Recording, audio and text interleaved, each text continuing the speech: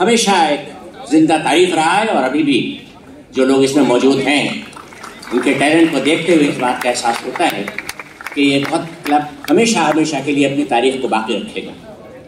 ख़ास तौर से शिरानी साहब ने जो कुछ प्रेजेंटेशन किया है, जो मरसिए पढ़े गए हैं, जो कैसेशन किया गया है, वो बहुत लाजवाब है। इतना लाजवाब है कि करबला करबल कथा के बहुत बड़े कैनवस को मैं समझता हूँ कि दुनिया की बहुत एपिक में इसका शुमार किया जाना चाहिए, जिसमें हर चीज़ मौजूद है, कोई चीज़ ऐसी नहीं है। दर्द है इसमें इसमें समाजियात हैं, इसमें जज्बात हैं, इसमें एहसास हैं, इसमें अखलाकियात हैं, कोई चीज़ बाकी नहीं है जो करबला की तारीख में न मिल जाती।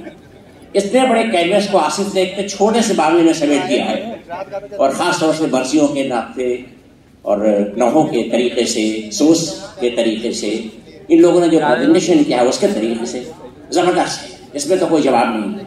बस एक बात ज़रूर कहना चाहूँगा कि जो रिसोर्सेज थे इनके पास उस रिसोर्सेज का और बेहतर इस्तेमाल हो सकता था। इनके पास वो बच्चे हैं जो घुड़सवार हैं। वो करबला के वाक़े में एक बहुत दर्दनाक वाक़ है। इमाम हुसैन सलाम की लाश को घोड़ों से पामाल किया गया था। ये यहाँ पर किया जा सकता था जिसकी गुंजाइश निकलती है। वो दूसरी गुंजाइश जो मैं सजेस्ट करना चाहूँगा आइंदे के लिए, खासतौर से विभा के लिए, कि करबला का अख्ताम वहाँ होता है, जहाँ यजीद के दरबार में जनाब जैनब का खुतबा है। नरेश रावी इतना शानदार रावी है कि मैंने इससे बेहतर रावी कभी देखा नहीं है। अगर इसके आप सामने रख दिया जाए तो जनाब जैनब में यजीद के खुतबे के जवाब में क्या जवाब में खुतबे चढ़ा था? तीन चार जुमले हैं जो उसको अदा करना आता है। इस रावी, इससे अच्छा कोई रावी नहीं हो सकता।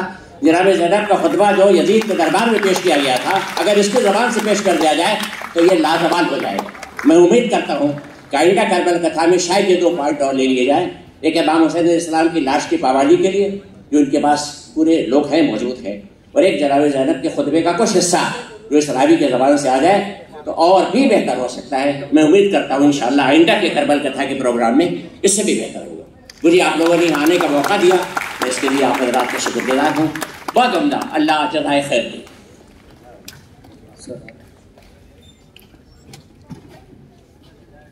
मैं बहुत शुक्रगुजार हूँ यहाँ मुझे मौका मिला यहाँ आने का। और इतने अच्छी तरह सारे आर्टिस्ट ने जिस तरह से रोल प्ले किया है, जितनी भी तारीफ़ की जाए, वो कम है। ज़ाहिर है कि ये एक ऐसा प्ले है जिसमें बहुत ही इमोशनल इंसान हो जाता है देख के। और बहुत ही अच्छी तरह प्रेजेंट किया गया है। और मैं मुबारकबाद दूँगा सारे लोगों को जो भी इसमें शामिल हैं। और उसके साथ साथ खास तौर पे शिरानी साहब को विभाग को, जिस तरह उन्होंने चीज़ों को प्रेजेंट किया। और सारे लोग जो भी यहाँ इसमें शामिल हैं, उनको मुबारकबाद दूँगा। और उम्मीद करता हूँ कि इंशाल्लाह आने वाले दिनों में आगे और भी अच्छा इसका प्रेजेंटेशन होगा। बहुत बहुत मुबारक हो। थैंक यू बहुत बहुत शुक्रिया शिरानी भाई। मैं बहुत बहुत शुक्रगुजार हूँ जनाब शिरानी, प्रोफेसर शिरानी साहब का और करबल कदा टीम का कि आपने मुझे इस लायक समझा कि आपने यहाँ मुझे बुलाया। मैं अपनी हमार फातमा मेमोरियल उन्नति संस्थान की तरफ़ से करबल कथा की पूरी टीम को सर सैद वीक के मौके पर आप लोगों को बुलाऊँगा और फैसिलिटेट दूँगा उनको सर्टिफिकेट दूँगा। इन ताला, आपको प्रमोट करने के लिए किसी तरीके से आप लोग मेहनत करते रहें। और मैं अपनी सोसाइटी की तरफ़ से आपको ग्यारह हज़ार रुपये डोनेट देता हूँ। बहुत बहुत शुक्रिया। यहाँ मौजूद स्टूडेंट से मैं रिक्वेस्ट करूँगी कि आप लोग ज़्यादा से ज़्यादा तादाद में ड्रामा क्लब को ज्वाइन करें। और आप भी यहाँ पे मौजूद हो सकते हैं।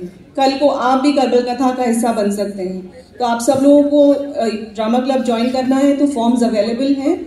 And we are all welcome we will welcome you all and please do join us and you will be on this side of the stage in the next कर्बल कथा and last but not the least I am very very thankful to hard working volunteers they were not just uh, running around to give the seeds to the people, but they were also managing water supply. And it is very very hot inside uh, this auditorium because of the AC malfunctioning and they are standing outside. So please, whoever is left here, just give a big round of applause to our volunteers. There is a big team of volunteers I will not name each one of them, but I am specially grateful to them. बहुत बहुत बहुत शुक्रगुजार हूँ मैं उन सब की. Thank you so much.